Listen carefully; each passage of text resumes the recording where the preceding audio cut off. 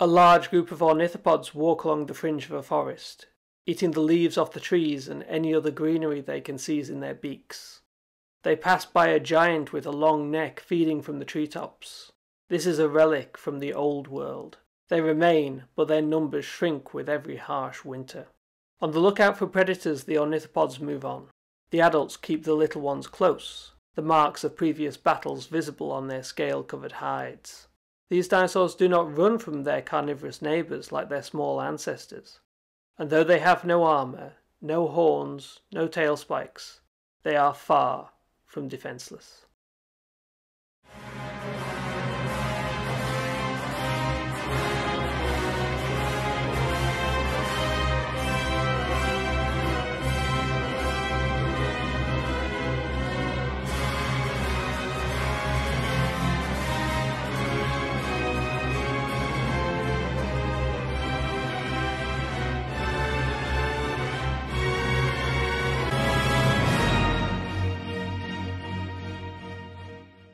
Welcome to this dinosaur profile on Iguanodon, one of the first dinosaurs named and a member of an enormously successful group that spread to every continent.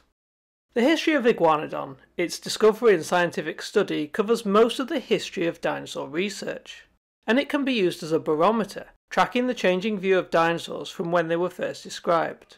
So this history section is going to be long. If you want to skip ahead to the animal itself, you can go here. For everyone else, let's dive in. There were many colourful characters in science in the 19th century, many of which we will meet. But if we are talking about Iguanodon, we have to start with Gideon Mantell. A little backstory. Gideon was born in Lewes in 1790, the fifth son of Methodist parents. This mattered as the Anglican Church was a major force in Britain at the time, and the local schools gave preference to Anglican children, Fortunately, Gideon's father Thomas knew a woman down the street who ran a dame school, a form of charitable learning where Gideon was taught basic maths and how to read and write. He then went away for further education with family members and friends of his father. He returned to Lewes at 15 and, without formal education, became the apprentice of a surgeon, James Moore. Mantell studied hard, learning from his mentor, and gained a diploma as a member of the Royal College of Surgeons and a certificate allowing him to perform midwifery duties in 1811, six years after starting his apprenticeship. He then partnered with Moore and kept up a phenomenal pace of work. This propelled the practice from earning around £750 a year by today's standards to over £700,000 a year. Throughout, Mantell had a keen interest in geology and fossils, often visiting local quarries to see what he could find or purchase from the workers. He sent some of his finds to the naturalist James Sowerby, who was impressed enough to induct Mantell into the Linnean Society of London in 1813, the first society dedicated to natural history. In 1816, Mantell married Mary Ann Woodhouse, the daughter of a former patient, set up his own practice, and in 1819 began writing a book on the fossils he was collecting from Whiteman's Green Quarry, including some teeth that looked reptilian and oddly herbivorous. The events of the discovery of the first tooth that would define Iguanodon are legend. It's said that Mantell's wife found them among quarry rocks travelling with her husband to visit a patient. Later Gideon said that he had found the tooth, and there is no evidence that Mary Ann visited patients with him. Whether the story is true or not, the first clearly identifiable herbivorous dinosaur tooth was found in 1822. Mantell had published his first book, The Fossils of the South Downs, and was invited to a get together of the Royal Society of London, the foremost scientific institution in Britain. Mantell took along his fossilised teeth and met with William Buckland, a prominent geologist and expert in fossils. He thought that the teeth looked like those of a fish or a rhinoceros, but suggested that they could be sent to Georges Cuvier. So Mantell handed them over to the Scottish geologist Charles Lyell, who would be meeting with Cuvier. Georges Cuvier was a giant in 19th century scientific circles. His knowledge of animals and ability to identify them was considered absolute. At a Parisian soiree over champagne, Lyell showed the mysterious teeth to Cuvier, who declared them the teeth of a rhinoceros. The next morning, presumably after the hangover had cleared, Lyell sent a letter to Mantell to tell him the news. But Mantell was not deterred. In 1824, Buckland fully described a massive carnivorous reptile that he had named Megalosaurus. He visited Mantell to look at his fossil collection and said that the teeth were definitely reptilian, and, feeling invigorated, Mantell decided to resend them to Cuvier. His response was surprising. Cuvier remembered being shown the teeth, but was quite drunk when he made the identification. In the morning he told Lyell that he had made a mistake, but Lyell neglected to tell Mantell this. Cuvier wrote, well, here is a translation. These teeth are certainly unknown to me. They are not from a carnivorous animal, and yet I believe that they belong to the order of reptiles. Do we not have here a new animal, a herbivorous reptile? He also advised Mantell that there should be searches for more complete skeletons of this animal with le plus de perseverance, or the greatest perseverance. With Cuvier legitimizing the identification, Mantell could push on. After searching through the records of the Royal College of Surgeons with the help of a Mr. Clift, Mantell found that the teeth looked like those of an iguana, but far larger. He thought about naming the creature Iguanosaurus, but his friend, William Daniel Conybeare, thought that that name would be better for the iguana itself, and suggested another. So in 1824, Mantell announced the name of a new prehistoric herbivorous reptile to the Portsmouth Philosophical Society, Iguanodon, meaning iguana tooth. This was cemented in 1825 when he presented his findings to the Royal Society of London.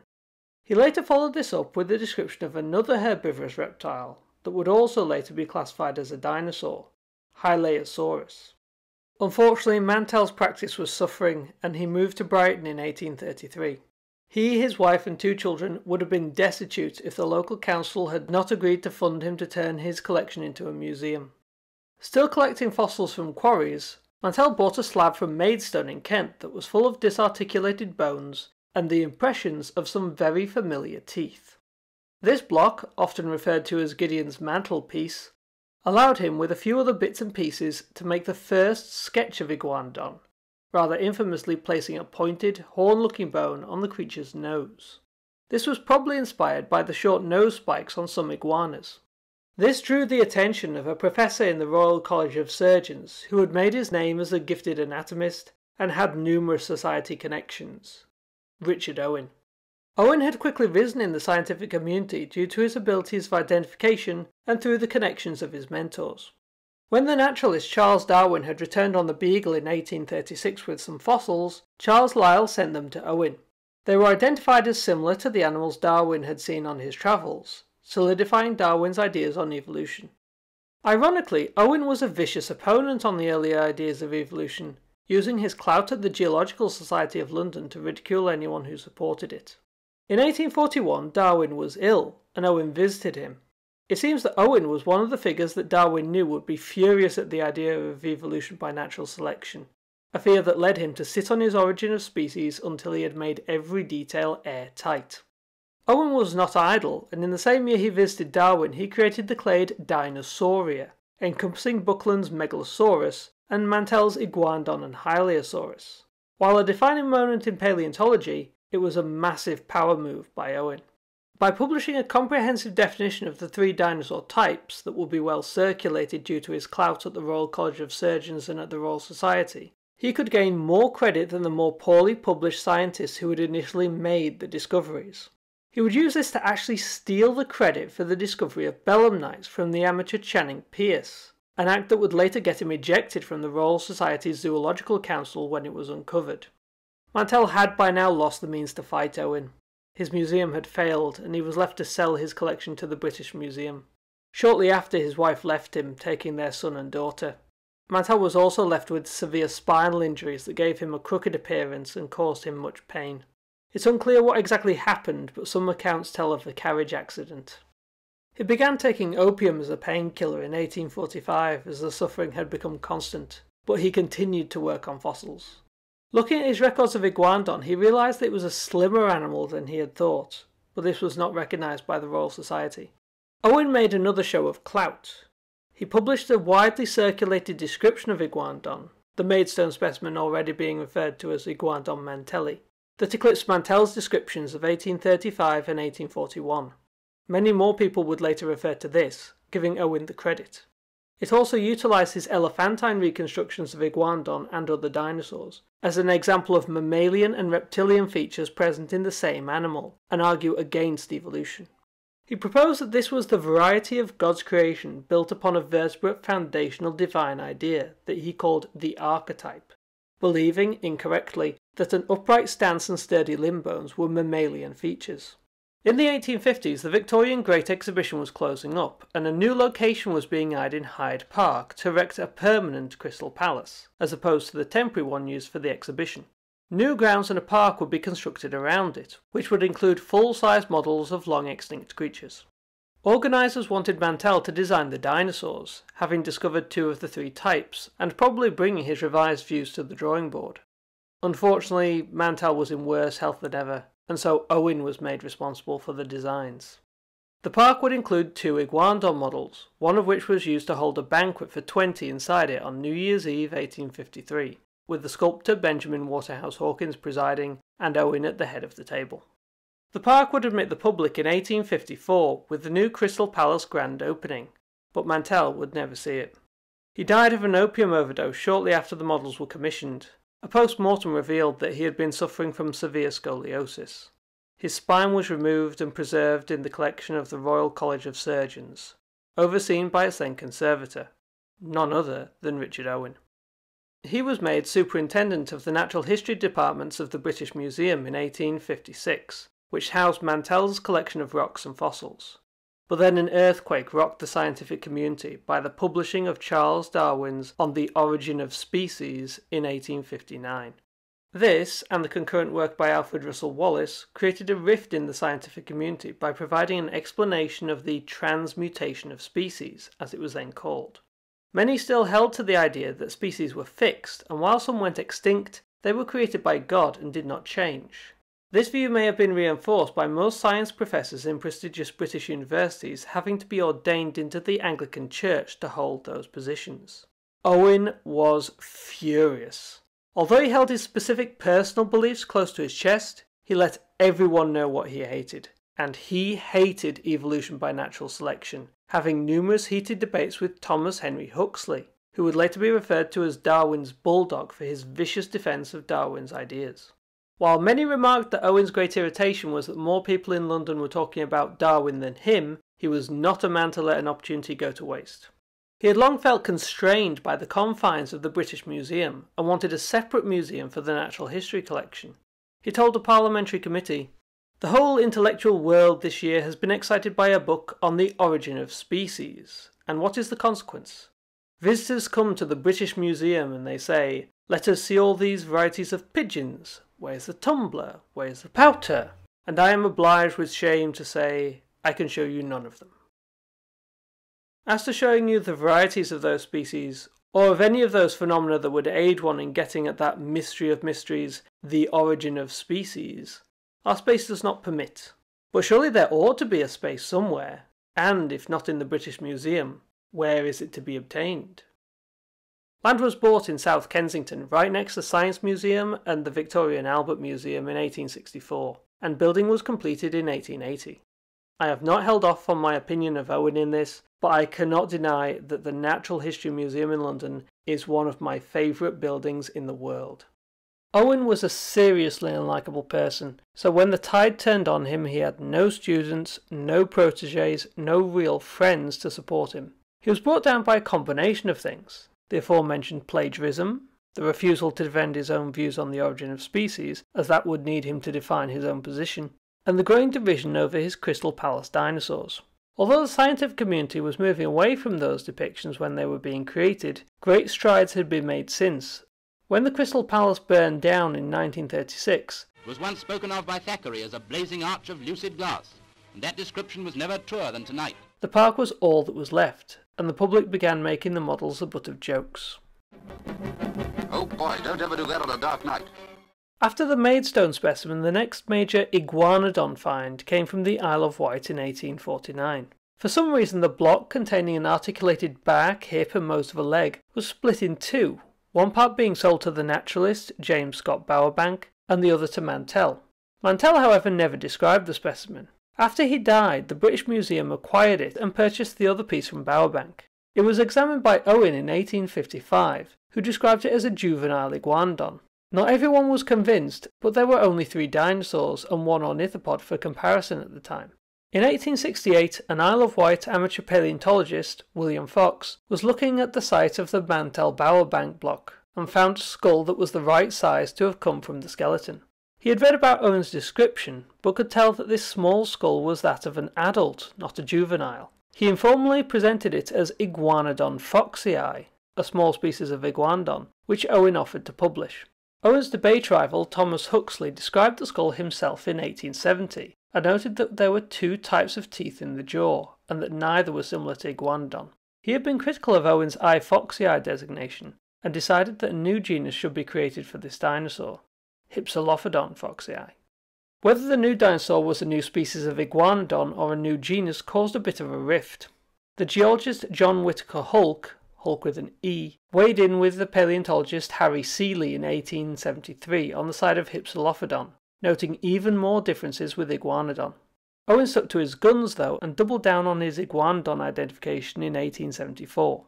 While this was going on, some new fossil bones were being examined by Oxford University professor Joseph Prestwich. He identified it as a new species of Iguanodon in 1879, but got help from Hulke. Being in the thick of the Iguanodon controversy, Hulke wanted people to know the scientific rigour of his work, even if they just read the title, resulting in this. Naming his new species Iguanodon prestwichii. It had the effect of winning over Owen, but not Seeley. With Owen on side, Hulke thought that he could tie off the whole Hypsilophodon issue in 1882, with a full osteology of the fossil bones. But Owen still wasn't buying it. It took Henry Woodward's work in 1885, referring to the American discoveries of Nanosaurus, the now dubious Laosaurus, and especially Camptosaurus, to end the debate. Seeley did not agree with I. prestwichii, and in 1888 proposed a new generic name, Cumnoria. This was when Richard Lydekker weighed in. He did not see the need for a new genus and proposed the specimen be classed as Iguanodon until 1889 when he accepted too many differences and proposed it be moved to the previously described Camptosaurus genus instead. This set up the ideological difference between the two. The issue about what Iguanodon looked like was still elusive. It was universally agreed that the Crystal Palace dinosaurs had it wrong, but the new fossils were still bits and pieces. The skull of Hypsilophodon showed how different an ornithopod could be, but there was still no solid idea of what the dinosaur actually looked like until a Belgian team of miners found some fossils 322 metres below the village of Bernissart. While digging for coal in the Santa Barb mine, the workers came across a clay pocket. They carried on through and found what appeared to be tree trunks dotted with gold. The gold was actually pyrite, fool's gold, and the tree trunks were bones. Alphonse Briart and Louis Dupont guided the excavations, making detailed records of how the fossils were found. They were dug out in large blocks to be carefully extracted later, but with the positions of the blocks catalogued so the skeletons could be reassembled. Little was known about the preservation of fossils, and these bones were suffering from pyrite disease. Pyrite had formed inside the fossils, which was fine when they were sealed away in clay. When they interacted with the air, the pyrite reacted with the oxygen, called pyritization, expanding and causing the fossils to crumble. Dupont had to think on his feet and wrapped the blocks in paper and plaster, reinforced by iron rings. 130 tons of fossils were carted to Brussels. When the bones were excavated, all visible pyrite was removed, and they were dipped in vats of boiling hot glues. By 1882, more than 38 individuals were identified. Nine were judged to be suitable for display, were fully excavated and mounted. This process in the 19th century was not kind on the fossils. The bones were held in place by adjustable ropes to get the position just right. Holes were then drilled for the metal scaffolding going through the bones and being screwed in place. The nine mounted skeletons were set up in the Royal Museum of Natural History in Brussels in 1891. From 1902 they were set up in the Royal Museum's new premises. In 1914, the German invasion left the mine on the occupied side. Despite the war, Berlin sent Otto Jaekel to oversee the reopening of the mine for further fossil excavation. No fossils were recovered as the German army surrendered and withdrew in 1918, before a fossiliferous layer was uncovered. The mine flooded in 1921 that prevented any further work. Unsurprisingly, the number done to the fossil bones and the 30 years of being exposed to the open air were causing some to crumble. The humidity in the air and the water that was unintentionally retained in the fossils by their treatment was continuing the pyritisation. The fossils were urgently taken down by the Royal Museum of Natural History director Victor van Straelen in 1933, and a thorough restoration project undertaken that was completed in 1937. Alcohol was used to infiltrate the fossils and remove any moisture. Arsenic was then added to kill off any mould, and a large amount of shellac used to harden the fossils. It's this shellac treatment that turned the fossils a dark brown, as that is not their natural colour, and they were kept behind glass where the temperature and humidity could be controlled. They were again dismantled and moved to the basement in 1940 for fear of bombings, but when they were remounted, it was clear that they were too delicate to be moved again. Finally, in 2003 to 2007, much of the shellac was removed and replaced with modern epoxy glues that are kinder to fossils. These days, fossils like this would be excavated in climate controlled laboratories, and chemicals like polyethylene glycol used to remove the moisture and strengthen their internal structure. Louis Dollo, who was in charge of the posture of the skeletons, thought that Iguanodon was very different from the elephant like animals of Richard Owen. Dollo concluded that it was a biped, moving round on just its hind legs. He came to this conclusion by examining the spine, which he found similar to modern bipeds, and from the fossil footprints found in the UK. It is difficult to ascertain now whether he was mistaking theropod or small ornithopod tracks for iguanodon footprints. The bird-like hips, legs, head and chest had him looking at flightless birds over half a century before the dinosaur renaissance. To get the upright posture that he thought was indicated by the bones, he also looked at the wallaby. Owen had kept Iguanodon's spike as a horn from Mantell's reconstruction, having no idea where else it would go but the mostly articulated Bernissart skeletons showed that the spike was a modified thumb on a very complex hand. In the days when paleontologists were still trying to figure out which bones fit where, the Bernissart finds were incredible. Whole skeletons could be reconstructed as they would have been in life. Examination of the teeth and bones that could be compared with the Maidstone slab identified one skeleton as Iguanodon mantelli. The other skeletons were bigger and more robust, and were named Iguanodon bernissartensis.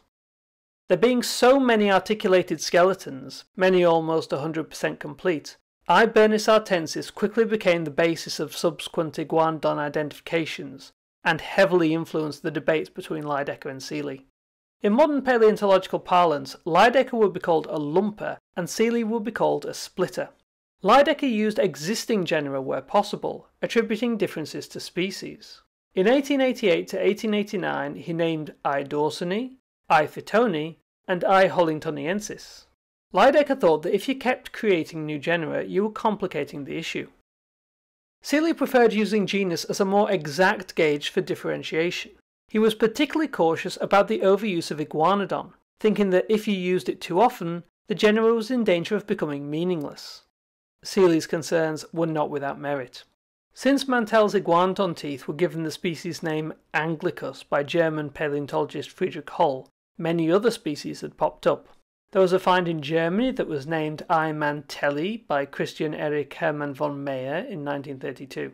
These fragments were judged to be from the same species as the later Maidstone slab, giving its name over and being used as the most complete iguanodon reference until the Bernissart finds. Then there was I. phillipsi, described by Seeley, but later reassigned to a thyreophorus he named Priodontognathus.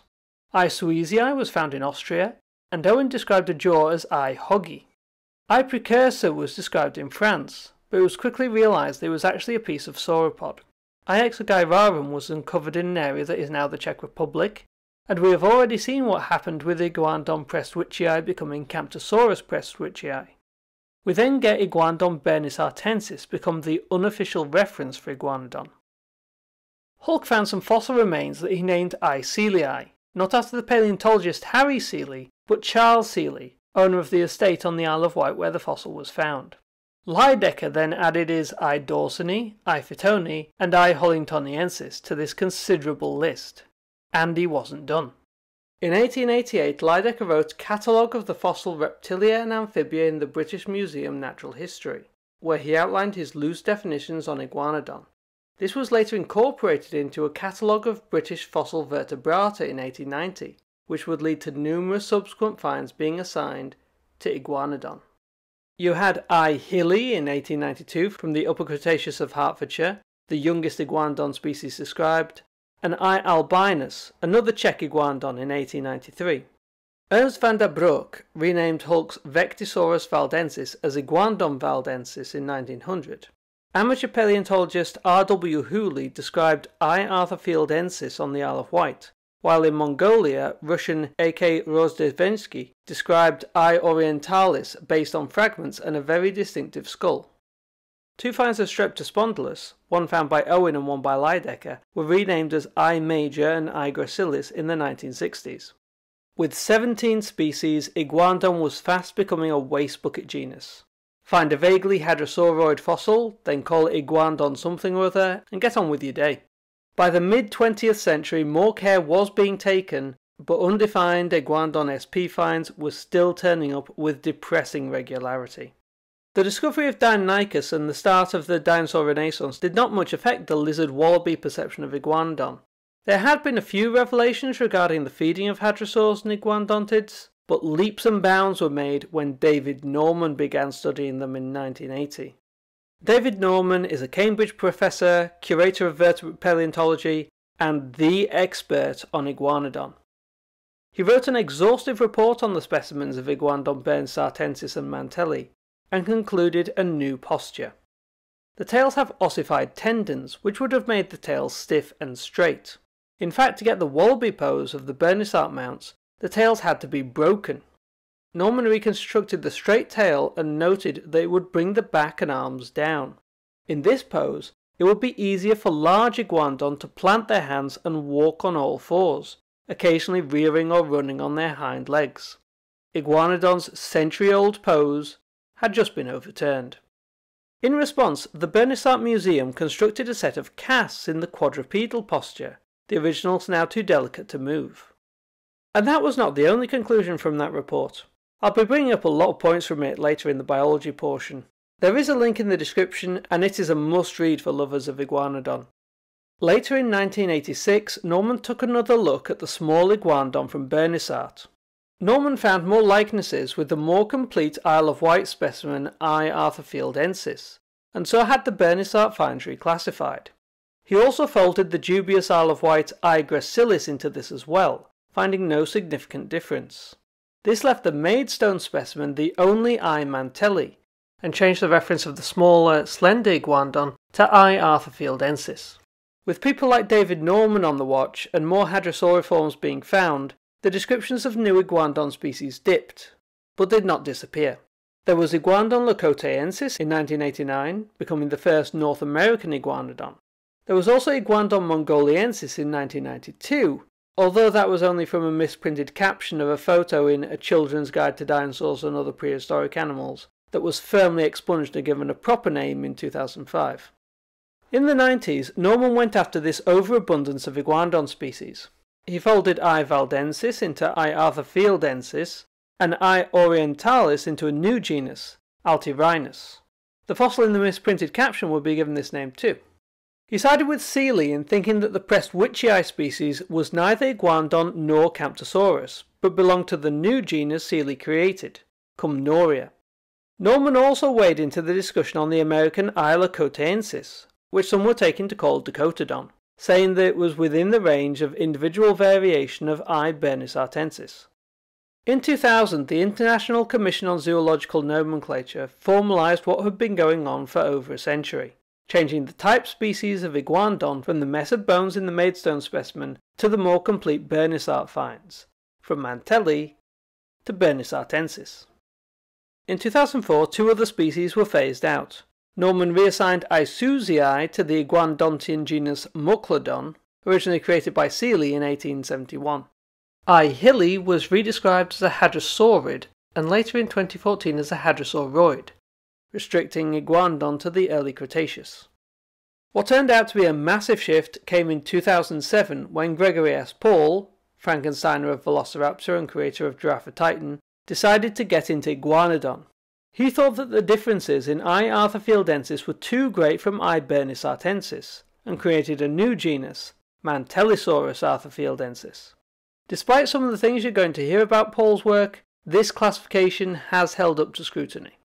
He did not think that all I. atherfieldensis specimens were Mantellisaurus, and called the slender Bernissart finds Dollodon bampingi in 2008. Carpenter and Nishida thought this similar to I. seeley and created Dollodon seeley. This was around the time that I. major was generally agreed to be a dubious species and considered some sort of undefinable iguanodon. In 2009, I. hoggii was renamed as Owenodon hoggii, not by Paul, but by American paleontologist Peter Galton. In 2010, Carpenter and Ishida published the results of their study on the iguanodontids of the Cedar Mountain Formation, a near unbroken sequence of about 35 million years. They thought that this could be used as a basis of expected iguanodontid diversity over time. Norman had been arguing for four species of iguanodontid being present in the Wealden group in the south of England, but the Cedar Mountain data indicated to Carpenter and Ishida that there should have been more. Paul jumped on this reading and, with Carpenter and Ishida, began redefining the British iguanodontids into what they would expect to see in the 17 million year span of the Wealden group. There are the specimens of Iguanodon bernissartensis, Mantellisaurus atherfieldensis, Barilium dawsoni, and Hypselospinus identified by Norman. They support the identification of most of these, apart from naming Barilium dawsoni Torilion dawsoni, and added a few. They include Vectisaurus valdensis, originally named by Hulke in 1879, and Sphenospondylus gracilis from Lydekker in 1888. Also included is Kukufeldia tilgatensis from McDonald in 2010. Carpenter Nishida named Proplanicoxa galtoni, Sellacoxa pauli, and Wadhurstia fittoni as part of their 2010 study. Paul chimed in in 2012, bringing with him the two Dollodon species. He thought assigning Lydekker's I. hollingtoniensis to Hypselospinus was a mistake, and created Huxleysaurus hollingtoniensis. Another find identified as Hypselospinus he identified as his Darwinsaurus evolutionis. He also went after the Maidstone specimen. It had been left as the only I. mantelli after the ICZN moved the iguanodon type to Bernissartensis, but Paul thought it deserved its own genus, calling it Mantellodon carpenteri. And here come the quotes. Paul championed the work by Carpenter and Ishida assigning all of these genera to the Wealden group. He wrote that as the group is hundreds of meters deep and formed over 20 million years, they should contain a long multiplicity of faunas, each with distinct and often diverse set of taxa. He took particular aim at Norman, saying that his Basic argument that there are just two European iguanodonts in the Valanginian, and then just two more in the next two stages up to the early Aptian, is so simplistic in evolutionary terms that it must be rejected unless future discoveries actually do show that specimens from such long spans of time must be placed in so few taxa. David Norman is very good at his job, and did not seem to appreciate being called out. You also need to be very confident to try to correct someone about their home turf. Norman hit back with a shade-filled paper the likes of which I have rarely read. He pointed out that the Wealden group is not one long continuous sequence, but two small sequences that appear in three locations. Norman wrote, The fact that this theoretical scenario does not apply in reality reflects in large measure the above author's unfamiliarity with the geology and paleontology of the area in question. Most easily dealt with were Vectisaurus, Sphenospondylus, and Proplanicoxa, all of which Norman had previously reviewed as dubious since 1986, and which McDonald had assigned to Mantellisaurus in 2012. Torilion and Wadhurstia Norman had described as Barilium dawsoni and Hypselospinus fittoni respectively months before Carpenter and Ishida came up with their interpretations, giving Norman priority. Kukufeldia and Sellacoxa were also folded into Barilium. Kukufeldia because McDonald, who had named it, realized later that he was mistaken, and Sellacoxa because the pelvis used to describe it was incomplete and crushed, something that Carpenter and Ishida failed to notice. Dollodon seeley was also criticized for its identification being based on overly simplified 2D outlines of the pelvis not drawn to scale and there was a quick reaffirmation that it was within the range of I. bernissartensis. But Norman had worse for Paul. Dollodon bampingi, Norman attested, was the result of changes of proportion in Paul's life restorations. That any difference was due to artistic interpretation and that the actual bones were identical to Mantellisaurus. Norman also lays out that Paul had no clue of the geology of the area when creating Huxleysaurus based on features that aren't present in the specimen, and had mixed several specimens together to create Darwinsaurus. Huxleysaurus was assigned to Hypselospinus, and Darwinsaurus from one quarry to Hypselospinus and from another to Mantellisaurus. Then there is the Maidstone Mantellodon. Paul's creation of the genus wrongly describes some features and mentions a few that are not preserved at all. It ends with Norman firmly assigning the Maidstone specimen to Mantellisaurus. Growing suspicious, Norman checked with a contact at the Natural History Museum, where much of this material, including the Maidstone specimen, is kept. There was no indication that Paul had even set foot in the building. He writes, Although I risk appearing excessively judgmental, it is hard to avoid the conclusion that Paul is making unfounded taxonomic proposals based upon preconceptions alone. He says that apart from Mantellisaurus, all the taxonomic names that have been proposed for Wealden ornithopod material by G.S. Paul, K. Carpenter, and Y. Ishida have been revealed to be either objectively synonymous with existing taxa or founded upon misunderstandings, preconceived notions, or inaccurate anatomy, or various combinations of these factors. Norman cites the research being based on expectation rather than observation of the material, that the Wealden might have seen a myriad of different ornithopods, but the brief windows we have do not show it, and that misguided logic like this is just the kind of thing that the peer review process should be able to prevent seeing print. One final note about this paper is that it finds a messy but effective way to handle Mantell's iguanodon tooth.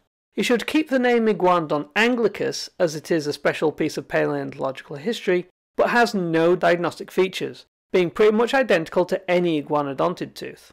Mantell kept hold of it, and on his death it went to his son Walter, also a fossil collector, who had moved to New Zealand. That is why the tooth is currently held in Wellington's Museum of New Zealand Te Papa Tongarewa, although not on display. But when it looked like there was only going to be I. Artensis, in 2015 Iguanodon galvanensis was described from Teruel in Spain. This brings the up-to-date tally on Iguanodon species to two, I. bernissartensis and I. galvanensis, with I. anglicus having a reserved status.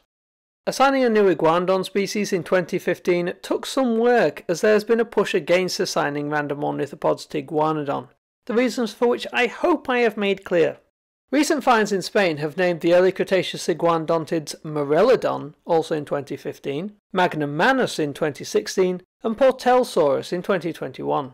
An examination of a specimen assigned to Mantellisaurus revealed it to be a new species of iguanodontid on the Isle of Wight, and was named Brighstoneus in 2021.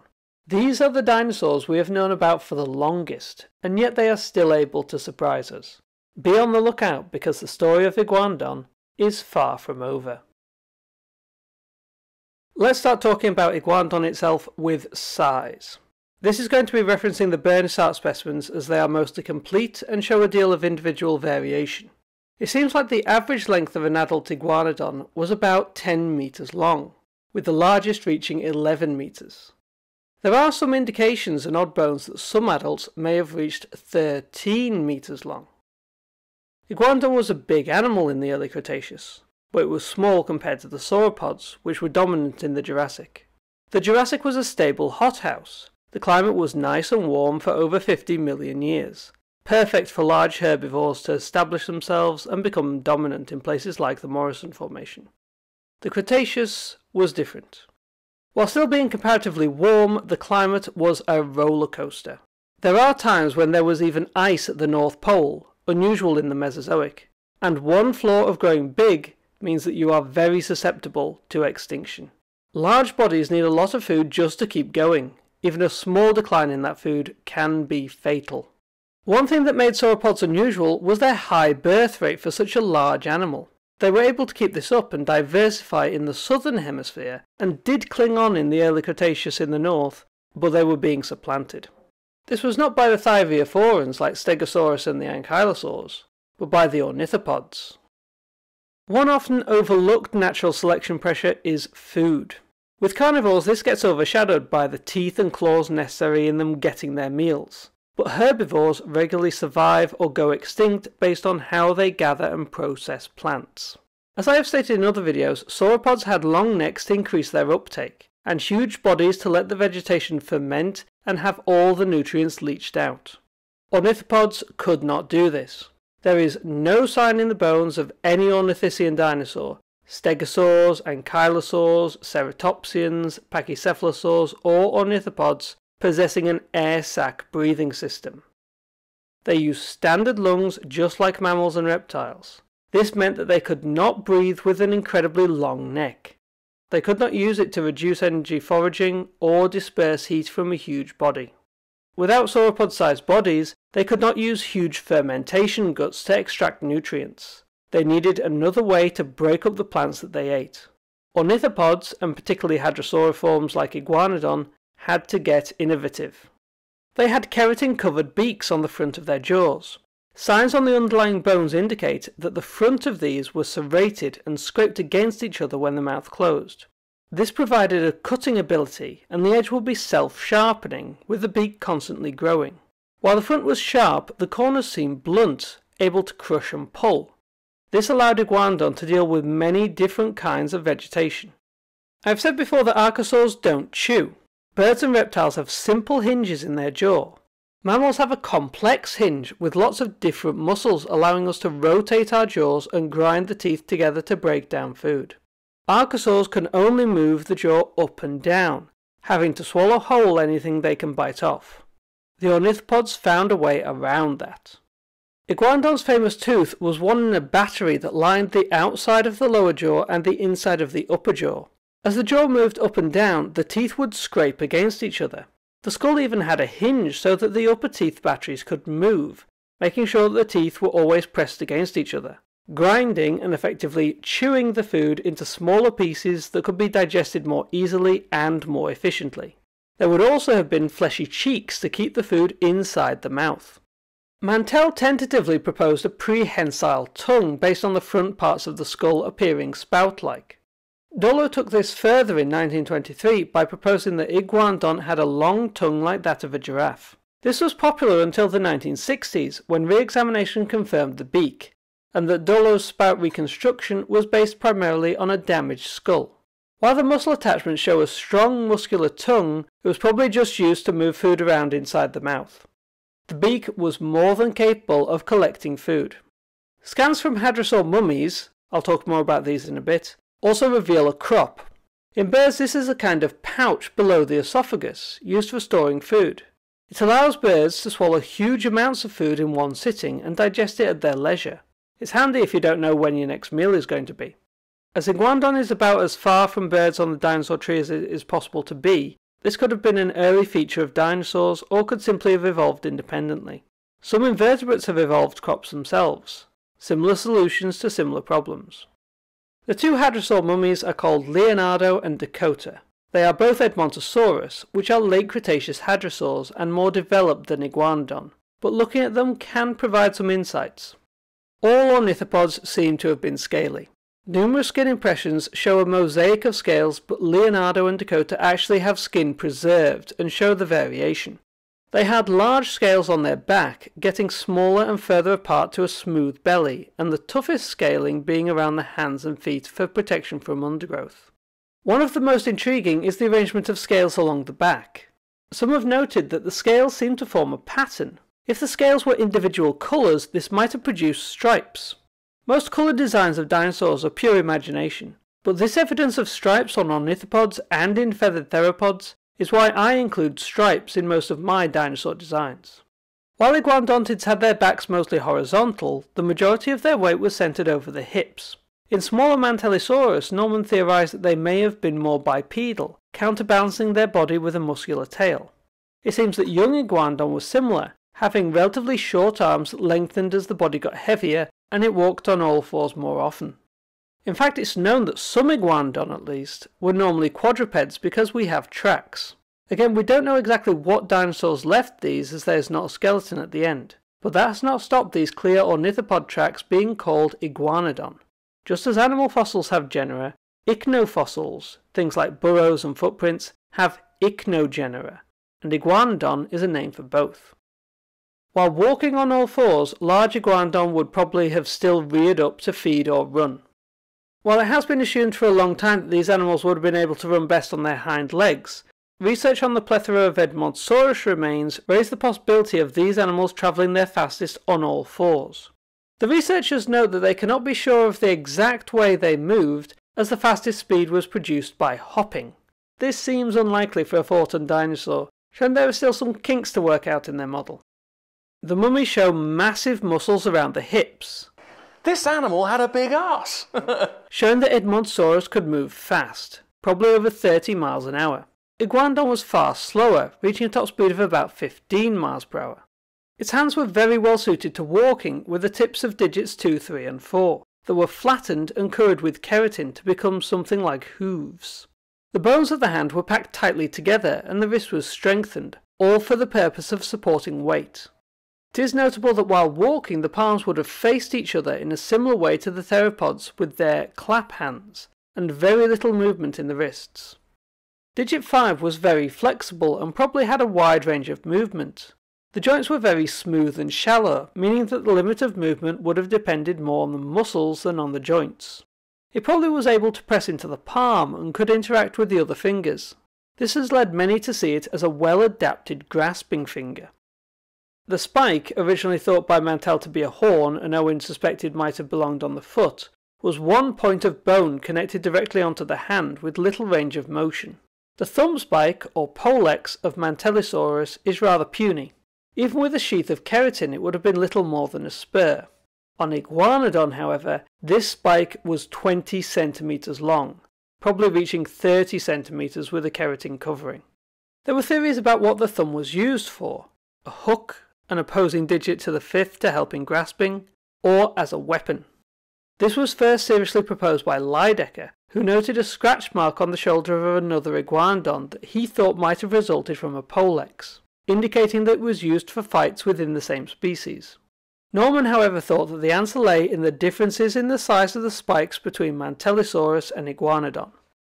If the spikes were indeed used for intraspecific fights, like over mates, then they would have been proportionally the same size for the two. There would be no reason for Mantellisaurus to have such a tiny spike.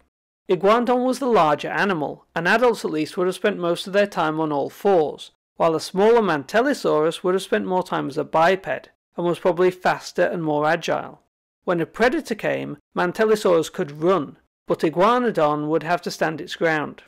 The adults were big, with thick limbs, a stiff tail, a heavy body, and a foot-long dagger might have given it that extra edge if needed.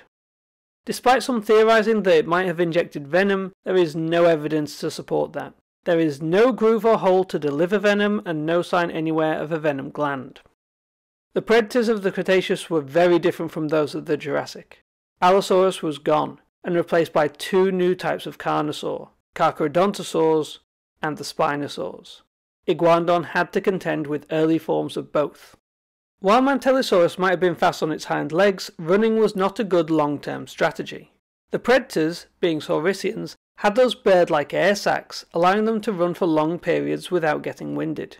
Iguanodontids had to use their agility to end a chase fast. The longer it went, the further the odds would shift in the hunter's favour. They did have another method of safety though herding. The Bernissart specimens number about 24 complete or almost complete skeletons, and it's uncertain how many individuals the other remains represent. It is not considered a single mass death event, as it seems there were several death events within a short time, geologically speaking. It is notable that all of the specimens were of young adults or older, but this is far from evidence of age segregated groups. It is possible that only individuals of a certain size died at this point, or that smaller bodies were carried off by water currents. Body fossils do not tell you much about the age makeup of a group, and footprints proposed as being from Iguanodon are not very extensive. There are signs that animals like Iguanodon did not migrate. Edmontosaurus, again this is because it's one of the most studied dinosaurs, had a wide range over most of North America. It was thought that it migrated north in the summer and then south during the winter when things got particularly cold. Examination of the tooth wear and chemistry indicate that Edmontosaurus changed its diet throughout the year and stayed around the same latitude. A yearly change in diet may seem to imply migration, but animals tend to migrate to keep their diet consistent. There is also the evidence of the differences between Edmontosaurus found in northern Alaska and those further south in Alberta. The southern animals had more consistent growth, while those in the north had severely limited growth during the winter, implying that they stayed there all year round. Despite there being no evidence of migration, groups of different animals did seem to gather together. Iguanodon and Mantellisaurus are often found close together. This led some to think that they might have been males and females of the same species, but this did not hold up. They probably banded together to form a collectively larger group than either could alone. There are also a few other animals that are often found nearby, but I'll get into those later. There is another piece of evidence against hadrosauriform migrations, and that is how they raise their young. For a good example, I would like to introduce you to Maiasaura, the good mother lizard from the late Cretaceous. This is the best example of hadrosauriform nesting. They were found in large nesting colonies similar to modern seabirds. Maiasaura were almost the same size as Iguanodon and laid 30 to 40 eggs in a spiral pattern, covered in rotting vegetation to keep them warm. The eggs were about the same size as an ostrich's, and there were only 7 metres between nests. For an animal that could grow 9 metres long, this would have been cramped. Baby Maiasaura show poorly developed legs, but well developed and worn teeth. They could not walk for the first year and may have stayed in the nest until they were two. During this time, they were probably well fed by their parents, bringing either whole food or food that they had already processed and carried in their crop, again similar to birds. Having a nesting colony keeps a herd rooted to a particular location, even if those not tending to a nest travel for food. A collection of around 50 Maiasaura of different ages was uncovered in Montana. Such a large collection of a single species offered a rare opportunity for a population analysis. It seems that over 89.9% died in their first year. This fell to 12.7% from their second year, when they were able to move about more freely and be protected in a herd setting. They would reach sexual maturity at 3, where there would be a brief mortality spike, and then it would drop off with no sign of death in the next few years of life. They would reach their full size at about 8, when the mortality would rise again to 44.4%. The yearlings grew fast when any drop in availability of food would lead to starvation. On the cusp of sexual maturity, it would have been the same issue. Hormone changes would lead to increased food requirements, risking starvation during the tumultuous time of the Cretaceous. Young adults would be inexperienced with the social interactions of mating and could easily become injured by rivals. Predators would go after the young before they could be protected by a herd of adults, and they would target the sick and injured, usually the old. This kind of population dynamic is seen today in red deer on the Scottish Isle of Rum, and something similar was probably happening with Iguanodon. Iguanodon lived in the late Barremian to early Aptian ages of the early Cretaceous, about 126 to 122 million years ago. They are found in southern England and Belgium, with signs as far as Germany and Romania, and the galvanensis species early in the Barremian in Iberia. In most of these areas it's found alongside Mantellisaurus, its smaller, more agile cousin.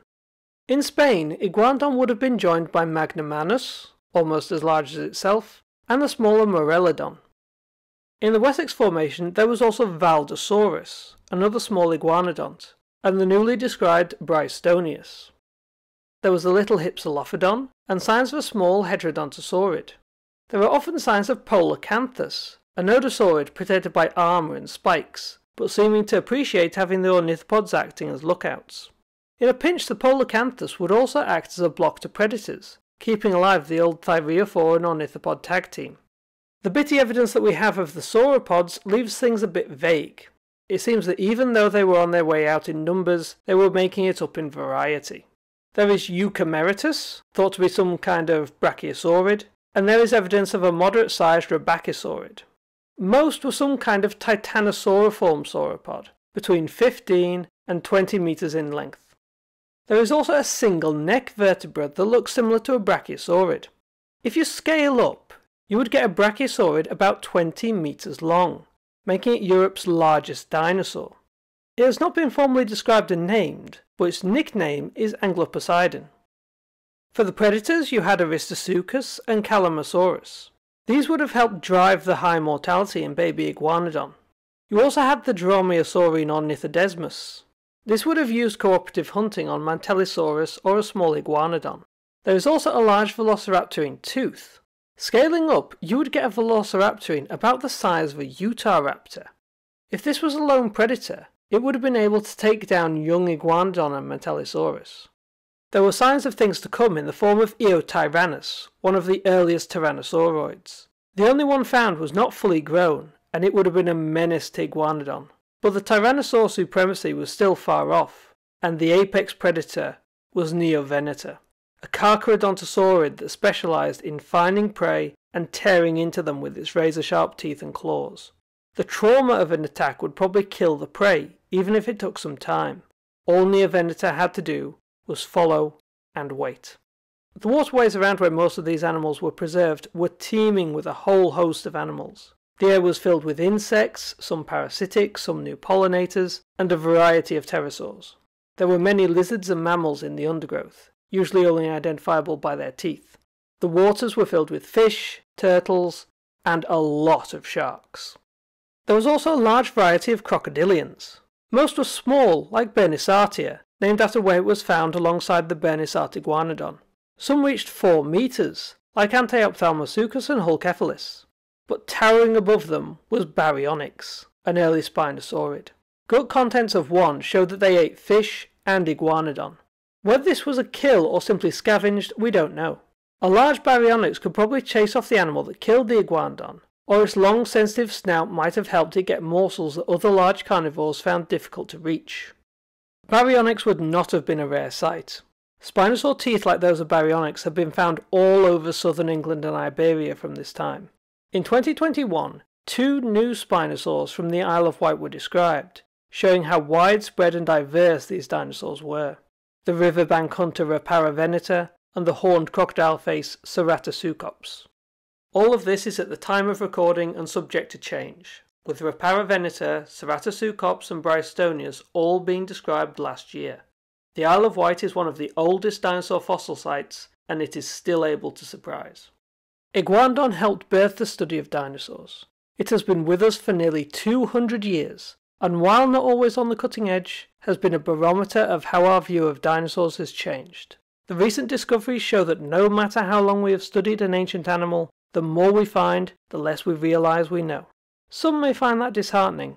I find it exciting in what revelations might be around the corner. Thanks for watching. As always, like, subscribe, ring the bell if you want to be updated when I manage to complete another video, and share with anyone you may know who have an interest in dinosaurs or the history of science. Keep up those suggestions in the comments. Mentioning Iguanodon seemed to bring a load of Hadrosaur fans out with suggestions for Parasaurolophus, Corythosaurus, and even Lambeosaurus. Also, I do try to answer any questions that you may have. I hope this will not become a regular thing, but I do have a correction to make regarding my Brachiosaurus video. When I talked about the Portuguese trackway showing seven subadult sauropods walking the same direction, I showed the wrong Portuguese trackway. This is the trackway that I was talking about. All the information was correct, I just got the wrong image. There are a few sauropod trackways in Portugal. If you're interested in the early history of dinosaurs, I cannot recommend to you enough The Dinosaur Hunters by Deborah Cadbury. I've included an Abe Books link below, and for more recent books on dinosaurs, or whatever else you're interested in, there's also a link to bookshop.org. I'm not being sponsored, I just like supporting local bookshops who source these sites. Next. By the late Triassic, the dinosaurs had achieved a foothold in the oases of the Pangean Desert but they needed a pioneer to blaze a trail across the world. A dinosaur profile on Coelophysis. Hope to see you then.